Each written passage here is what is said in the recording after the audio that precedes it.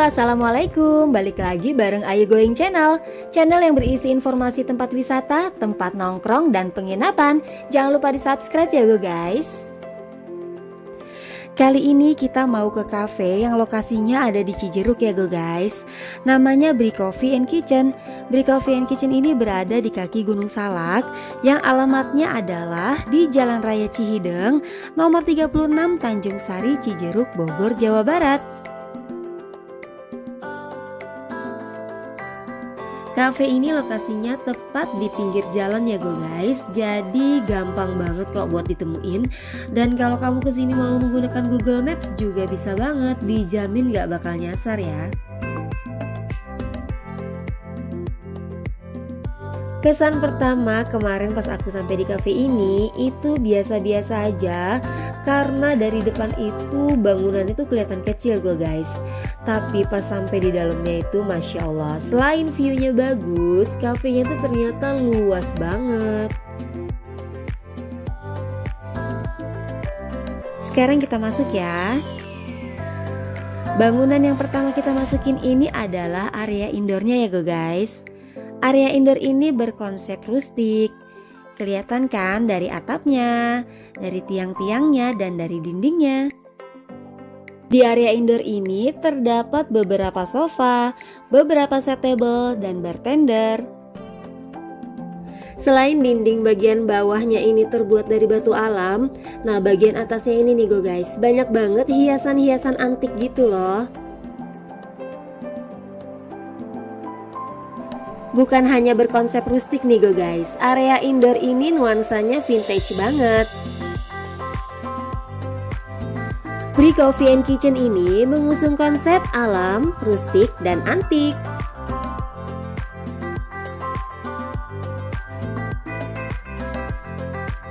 Dari area indoor, kita langsung menuju ke area semi outdoor dan area outdoornya ya go guys. Di sini kita langsung disambut dengan rerimbunan pohon yang bikin suasana tambah sejuk.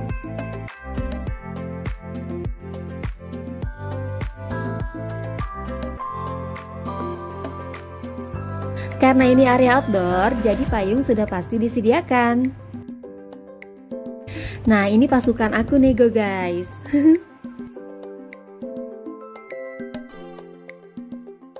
Ini area outdoornya ya go guys. Kalau cuaca lagi nggak hujan, enaknya duduk di sini.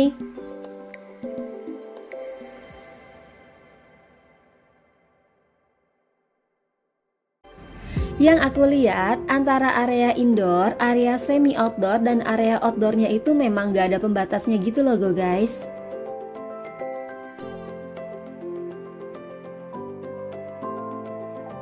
Semi outdoor ini menggunakan atap yang transparan go guys. Plus dihiasin lampu-lampu yang cantik Jadi kelihatan estetik banget. Siapa sangka spot foto yang estetik ini dalamnya adalah Toilet. Aku kok malah tertarik sama toiletnya ya go guys Karena selain bersih, toiletnya ini wangi banget go guys. Dan menariknya, di toiletnya pun gak keluar dari konsep rustik dan antik. Tersedia wastafel dan ada tisu di sebelahnya. Pintunya ini terbuat dari kayu go guys. Dan di dalamnya menggunakan toilet duduk, ada tisu serta gantungan untuk menaruh tas.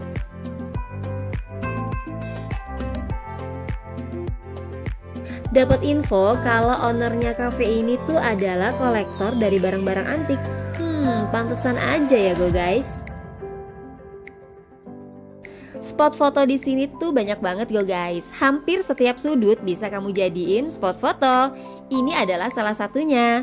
Di sebelahnya ini ada musola dan ini tempat untuk berwudu. Ini musola untuk laki-laki ya go guys. Untuk wanitanya terpisah ada di sebelahnya.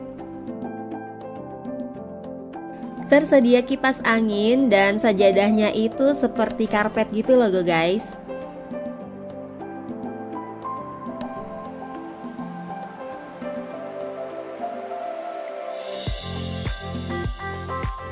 Selain area ini, masih ada lagi area di bagian bawah untuk outdoornya. Dan ini adalah kakak dan adekku yang lagi berfoto-foto ria di depan toilet. Karena spot foto di depan toiletnya itu sebagus itu go guys.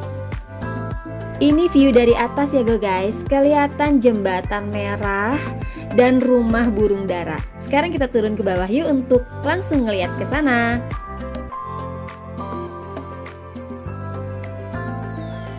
Nah ini adalah area outdoor lainnya yang ada di bagian bawah ya go guys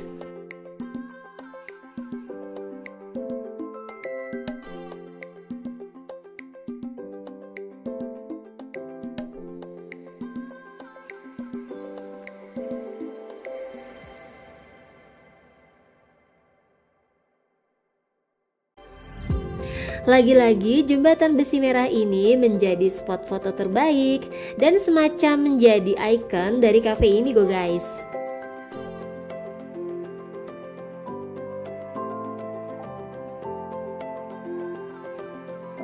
Ini dia rumah burung darahnya ya go guys. Jadi kita bisa kasih makan burung-burung ini dengan jagung kering yang bisa kita beli di sini dengan harga satu cupnya itu 5000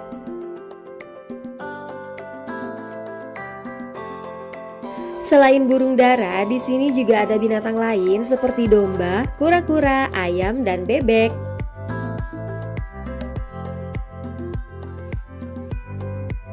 Nah ini dombanya nih go guys. Dombanya sih nggak terlalu banyak ya Cuma beberapa ekor aja. Tapi kelihatannya nih dombanya bersih Dan kandangnya tuh juga nggak bau banget gitu loh.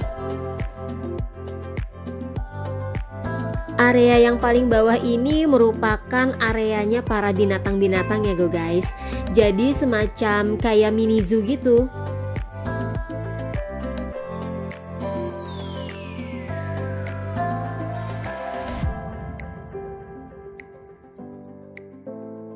Cafe ini tuh bener-bener ya bikin anak-anak pada betah banget di sini go guys. Mereka senang banget bisa main sama burung dara dan jumlah burungnya tuh nggak nanggung-nanggung karena banyak banget.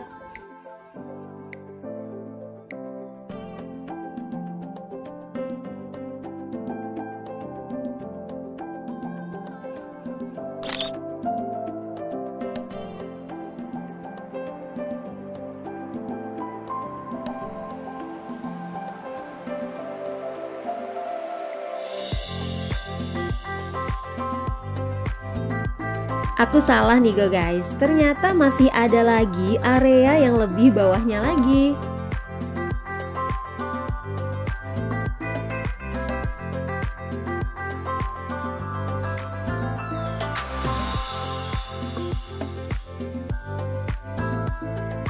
Di sini ada meja dan kursi yang permanen gitu yang terbuat dari batu-batu dan satu ada kursi settable.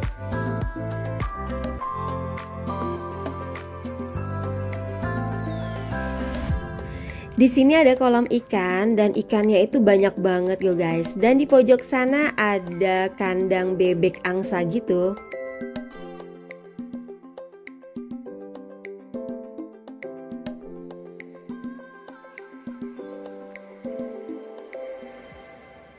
Masih ada lagi area yang lebih bawahnya lagi nih go guys. Ini aku tunjukin ya.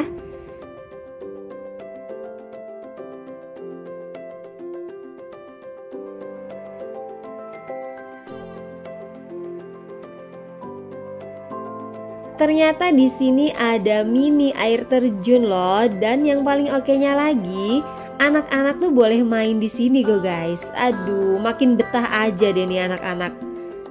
Tapi kebetulan waktu kemarin kita ke sini sedang gerimis go guys. Jadi cuaca lebih dingin.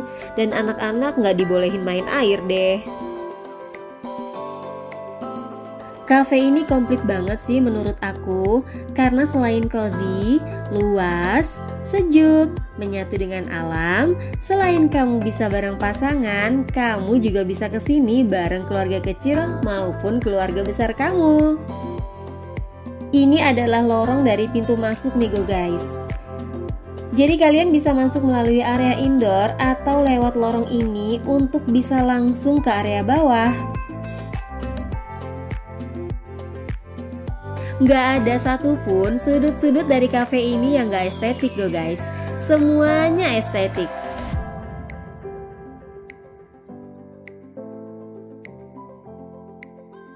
Di sini pun ada live musiknya go guys. Tapi aku nggak tahu apakah live musiknya itu setiap hari atau pas di weekend aja. Karena kebetulan kemarin aku ke sini pas di weekend. Ruangan yang satu ini adalah ruangan semi outdoor go guys. Bisa digunakan untuk kamu yang datangnya rame-rame atau bergrup atau mau ngadain event tertentu. Nah, di sini tempatnya go guys. Tempatnya luas, bisa menampung banyak orang.